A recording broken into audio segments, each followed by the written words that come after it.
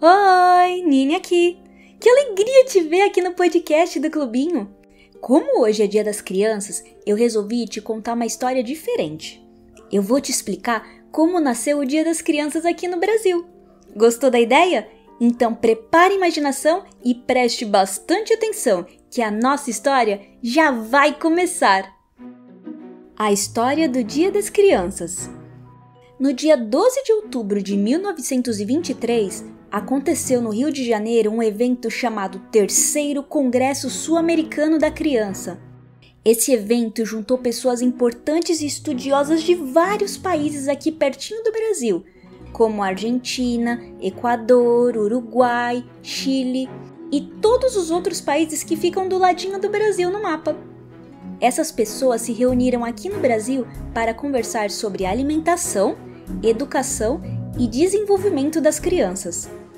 Só que esse evento foi tão legal que no ano seguinte, em 1924, um político chamado Galdino do Vale Filho fez uma proposta para que o dia 12 de outubro fosse o Dia Nacional das Crianças. Ou seja, ele queria que no dia 12 de outubro todas as crianças brasileiras pudessem comemorar o seu dia, enquanto que o governo tirasse o dia para pensar e verificar se tudo aquilo que foi negociado no Congresso estava sendo cumprido ou não.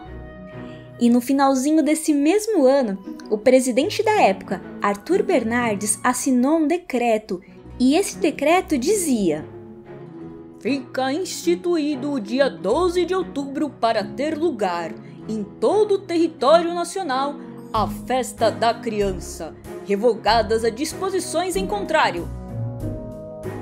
Em outras palavras, 12 de outubro virou o dia de festa para todas as crianças do Brasil, e foi a partir desse ano de 1924 que criamos essa data tão mágica e especial para todos nós. Pirilim Pim Pim, o Dia das Crianças começou assim. E aí, você gostou dessa história? Sabe qual é a melhor parte? É que ela é real e é graças a ela que hoje é o seu dia. Portanto, aproveite bastante com seus amiguinhos e a sua família e depois vem me contar tudo lá no Instagram, nini.guilen. E fiquem ligados que sábado tem historinha nova por aqui, hein?